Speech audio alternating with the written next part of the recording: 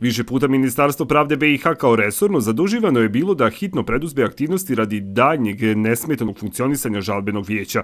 Naime, članovi vijeća zakonski nisu imali prava na komisijsku naknadu, pa su skoro dvije godine u Ministarstvu pravde razmatrali kako platiti tri člana komisije.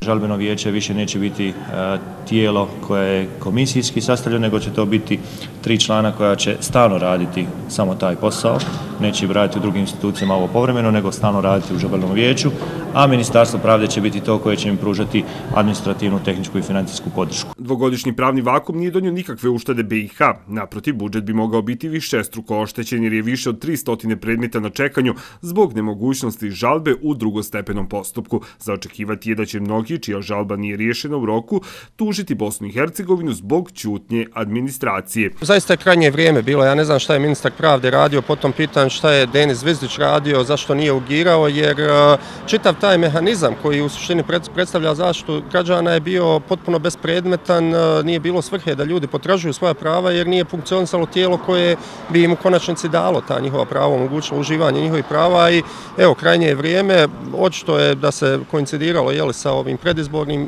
vremenom, međutim, e, građani trebaju zapamtiti da su čekali dvije godine, a ne da su to tek sada dobili. Slučajno ili ne, odluka da se obezbidi funkcionisanje tijela koje treba rješavati žalbe na rad državnih institucija nakon skoro dvije godine čekanja donijeta je u jeku izborne kampanje.